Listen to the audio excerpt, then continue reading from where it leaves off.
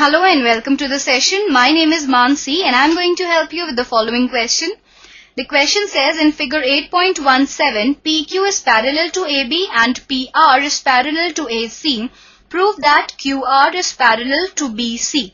So we are given PQ parallel to AB and PR parallel to AC and we have to prove that QR is parallel to BC. So let us start with the solution to this question. Now because PQ is parallel to AB, therefore in triangle AOB,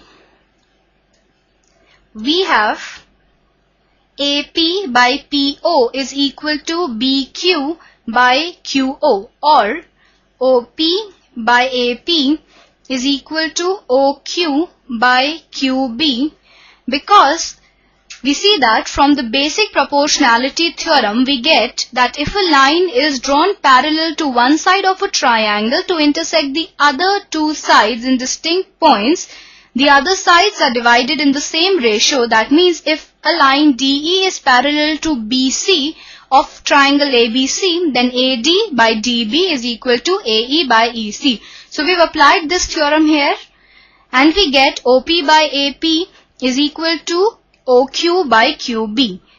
We name this 1. Again in triangle AOC, it's given to us that PR is parallel to AC.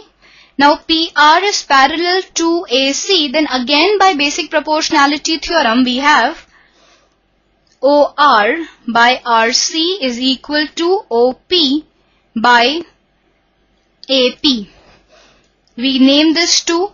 Now in 1 and 2 we notice that OP by AP is equal to OQ by QB and OR by RC.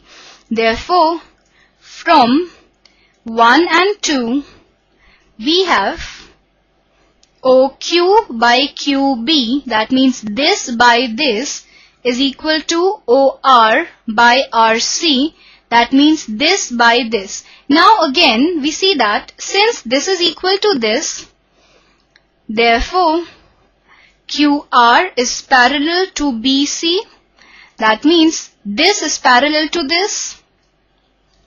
Now we see that this happens because we see that converse of basic proportionality theorem says that if a line divides any two sides of a triangle in the same ratio, the line is parallel to the third side. That means if in a triangle ABC, AD by BD is equal to AE by EC, then the line DE is parallel to BC. So using this we get that QR is parallel to BC from converse of basic proportionality theorem hence proved. So I hope that you understood the question and enjoyed the session. Have a good day.